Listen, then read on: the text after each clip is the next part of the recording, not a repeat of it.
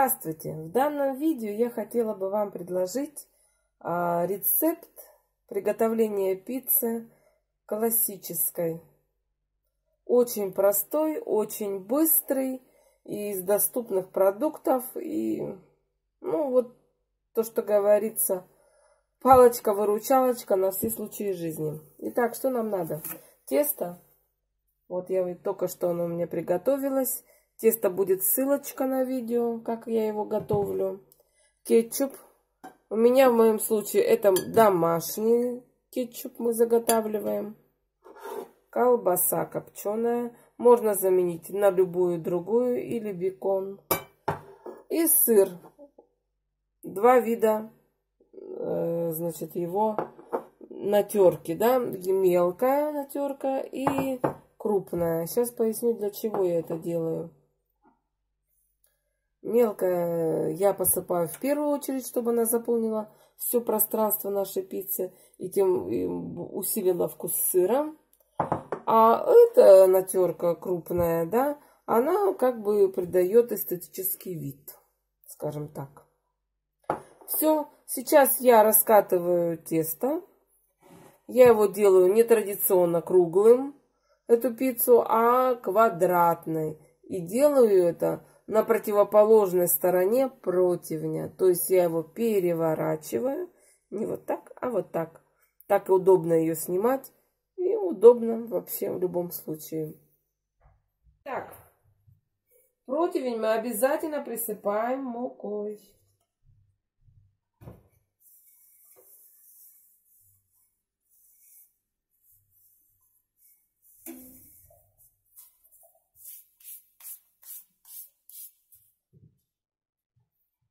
Вот хочу показать, видите?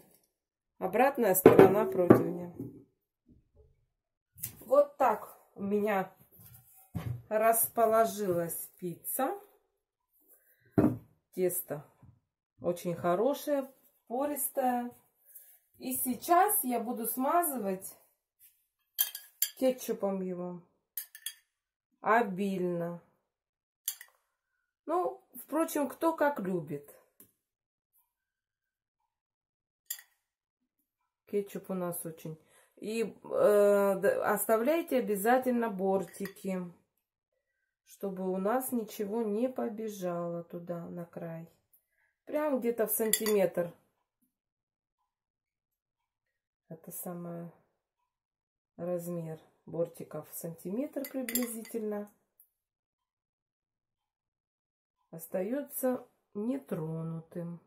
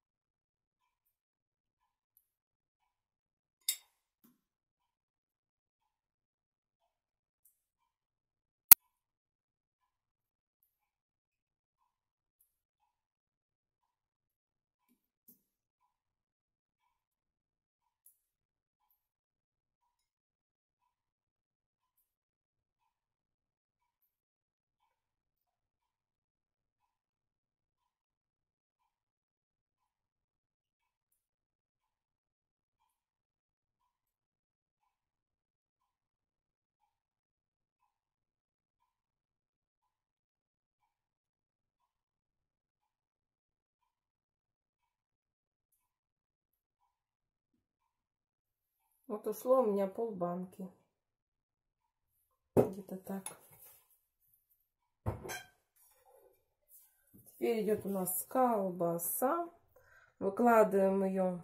Я рядочками всегда укладываю, чтобы удобно было отрезать ломтики. Чтобы на каждом кусочке была колбаска.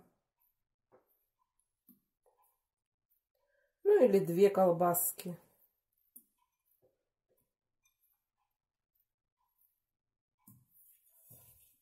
Так, сейчас подрежу, не хватило маленько. И сейчас я буду посыпать сыром, который мелкий. Видите, он мелкий какой. Специально, чтобы он заполнял все пространства. Маленько его сделала неправильно. просила мужа.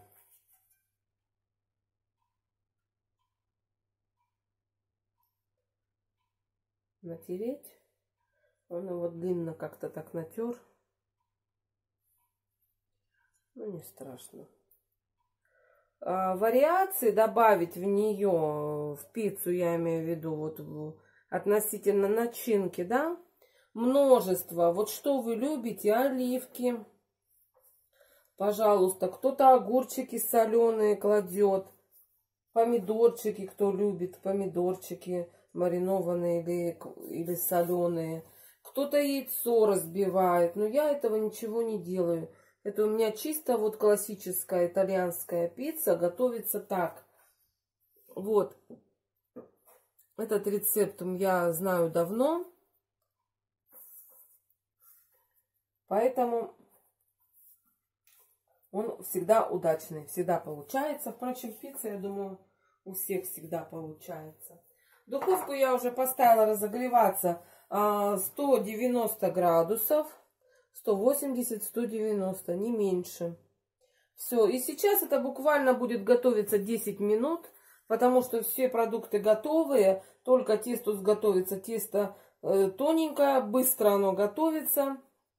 А, значит, и вот пройдет 10 минут, я погляжу, чтобы у меня все тут было нормально. И затем я добавлю вот этот сыр этой нарезки. Вот, для создания более плотной корочки, крас красиво будет. И еще буквально 3-5 минут. И все. И у нас э, пицца готова. Немножко украсила пиццу. Не люблю, когда остается тесто. Немножко осталось. И я вот так вот уголки решила оформить. Ну все. Сейчас я отправляю ее в духовку. Буквально на 10 минут. Так, прошло у меня 8 минут. А пицца уже поджарилась маленечко, видите, да? И сейчас я ее буду посыпать вот таким крупным тертым сыром. Стараться мимо не делать этого. И все, и буквально еще три минутки, и все готово. Тесто уже приобрело тот цвет, который нужен нам. Все.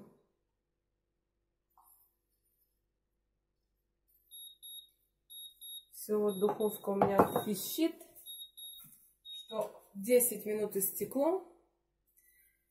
И я отправляю буквально на 3 минутки. Даже, думаю, на 2 достаточно будет. Но еще секрет у меня я...